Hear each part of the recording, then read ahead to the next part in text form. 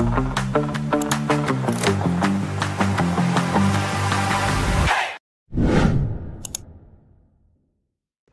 common lepidopteran larvae includes diamondback moth on cabbage, pod borer on bean, shoot and fruit borers on eggplant, fall armyworm on maize, tuta absoluta on tomato, leaf roller on rice, cutworm on brassicas, potato tuber on potato, bollworm on cotton, and so on. Leaf damage substantially reduces the photosynthetic ability of the plant and thus the carbohydrate production. It severely affects the plant health and the fruit production. Further defoliation causes the indirect damage from sunburn.